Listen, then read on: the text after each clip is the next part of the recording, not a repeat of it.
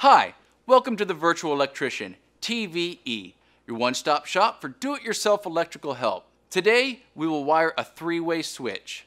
First, you turn the breaker off. Then, you tie your grounds together and make a pigtail. If you have a three-way where the hot is in one switch box and the switch leg is in the other, then in each box, you wire nut all the neutrals together. Your three-way switch will have three screws on it, not counting the ground screws. A black screw and two silver screws. The black and red wires from the 14-3 wire will be used as your traveler wires. The black wire from the 14-2 wire will be your point and connect to the black screw. Now when you install the traveler wires, make sure you get in the habit of doing it the same way every time. For example, I like to install the red traveler across from the point then the black wire underneath it.